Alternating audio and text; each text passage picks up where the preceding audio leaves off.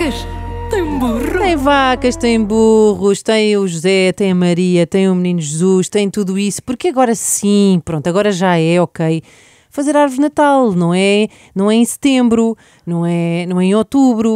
Pronto, agora sim, agora que já vamos entrar no último fim de semana de novembro, que já apanha um bocadinho de dezembro. No domingo já é 1 de dezembro. Já não é 1 de E aí já dezembro. se pode, a partir, é- de, a partir da meia-noite. Precisamente, já é muito aceitável fazer árvore de Natal. Portanto, vamos lá a isto, fazer árvore de Natal e não vos vou amassar com aquelas, aqueles tutoriais sobre como é que se faz árvore de Natal, se é as luzes primeiro, se é as luzes no fim. Olha, vocês façam como entenderem. Trouxe aqui duas modalidades muito específicas sobre eh, como fazer árvore de Natal. Trouxe uma árvore de Natal para preguiçosos e trouxe uma árvore de Natal para forretas. Dois tutoriais muito rápidos. Vamos começar com a árvore de Natal para preguiçosos. Boa, boa. Eh, então, a primeira coisa, árvore de Natal para preguiçosos, arranjar uma árvore. Que árvore? Então, obviamente, nunca um pinheiro natural, não é? Porque se são preguiçosos, muito. claro, vão cair agulhas de pinheiro e depois vão ter que andar a varrer. Como bons preguiçosos que são, não vão querer andar a pegar na vassoura de 10 em 10 minutos para varrer eh, agulhas de pinheiro do chão. Portanto, Até é de plástico. arranjam uma árvore artificial. Não, esqueçam, o quê? Uma árvore artificial? Nem pensar. Aproveitam uma planta que já tenham em casa. Ah, ok. Uma maiorzinha. Por exemplo, tem assim uma monstera. Tu tens uma monstera Eu que eu tenho, sei. sim. Eu, te- eu, por exemplo, tenho uma lá bem grande. E põe-se Está ótimo. luzes. A maior, luz, não, para que luzes? Não pões luzes nenhumas. Ah. Se quiseres pôr luzes, está bem. Tu é que tens a trabalhar de andar ali às Enrolar. voltas, mas podes nem pôr luzes nenhumas. Ahm, agora, enfeites, quer dizer, senão, senão é só uma planta. Enfeites, podem encomendar, claro, não vão estar a sair de casa, porque senão também vão estar a sair de casa, Nem arranjar estacionamento com uma canseira certo, dos certo. diabos. Portanto, encomendam, encomendam. Agora, o que é que vocês encomendam? Enfeites, só que é assim, a regração, enfeites comestíveis. Esvaltos, chocolates, reboçados, biscoitos, o Ah. que vocês quiserem. Sombrinhas. Desde que tenham um penduricalho para pôr na árvore. O que é que vocês conseguem com isto? Duas coisas. Um, um calendário do advento, não é? É verdade, é Dois. dois em um. Quando chega ao final de dezembro, já está desmontada, meus amigos. Já comemos a É uma árvore que se autodestrói, estão a perceber? Vão comendo os enfeites, o que faz com que ali para. Quer dizer, depende se depois são mais, se forem preguiçosos e muito Eu gulosos. no dia é? 2 de dezembro já arrumei com a árvore. no, no dia, pronto, por exemplo, depois tem que ir gerindo isso da melhor forma.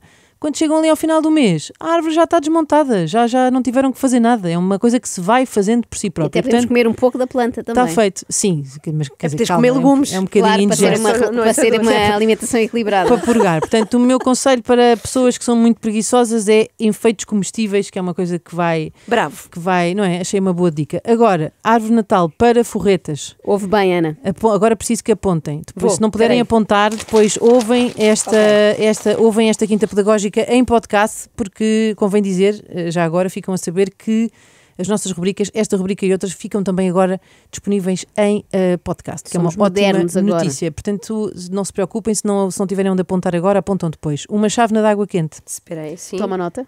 uma chávena de sal, Hum? três chávenas de farinha, Sim, duas colheres de sopa de canela. sim. A canela vai servir-se para duas coisas, para dar assim um ar mais que parece comestível, mas não é, atenção, eu vou Ok. sublinhar aqui que nada disto é comestível, apesar de parecer, e para dar um cheirinho ótimo a- a- à casa. Mexem tudo, misturam tudo isto, Sim. estendem com o rolo da massa, pegam em forminhas. Aqueles bi- biscoitos, aquelas forminhas de, de- de Sim. menino, de homenzinho, sabem? De estrelinha, de coraçãozinho, do que quiserem. Sim. Forminhas várias.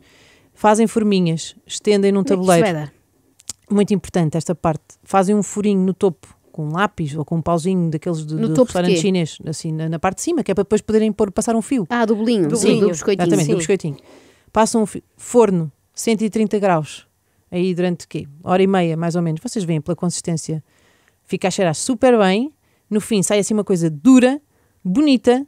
Pintam com canetas, como vocês quiserem, ou com aguarelas, ou com, como quiserem. Sim. E têm belíssimos enfeites de Natal. que Ok. Vão durar imenso tempo. E não se gastou um tostão. Não ga- gastam, gastaram, gastaram aí à sim. volta de, vou dizer, eh, Dois entre 3 e 5 euros. Mas vá. tem, tem que ter Nem cuidado tanto. para não confundir esta segunda árvore com a primeira e não acharem que esta também é comestível. Não, não, não. Aqui isto, nada disto é comestível, mas são efeitos que vocês podem fazer em casa, cheira bem eh, e não gastaram muito dinheiro.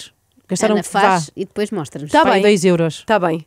Muito bem. Não e se achas? alguém for lá roubar, vai partir um dente. Sim, Olha, sim. faz- duríssimo. Sim, Ficam faz- com ar adorável, parecem biscoitinhos, mas não são. Atenção. Eh, e, e podem personalizar, podem pôr o vosso nome, podem fazer desenhos, escrever Feliz Natal. Gostamos coisas. muito. Obrigada. Faz, Duas opções. compra uma. Ah, claro. Tu Porque além de forreta, sou negociante, assim Exato. ganho dinheiro. Então não é que eu fiquei a saber o outro dia, muito rápido, que já não se usam fitas à volta das árvores, que é uma coisa muito anos 80, Pois é, 90. já nem se vende ou quê? O quê? Eu ponho e tenho, e faço Pois, questão. tu tens, porque guardaste Aquela- nos anos 80. Aquela fita farfalhuda? Dizem que não se usa, que é anos 80, Não. 90. Di- Também a questão é, dizem quem é que diz? Disseram-me outro dia num programa que estava a fazer, quando eu disse, ficou, ai, isso é tão 80, 90. O que é que Mas quem é que fala acham? assim? É a Bárbara Guimarães. Foi a pipoca mais. Mas é, são aquelas pessoas que também põem as bolas todas a Não, mas condizer. é que a pipoca anda sempre, não é? Na crista Na da onda, no que toca a modas e coisas. Não Pronto. podes ir atrás de uma influencer. Tu não tens vida para isso, filha.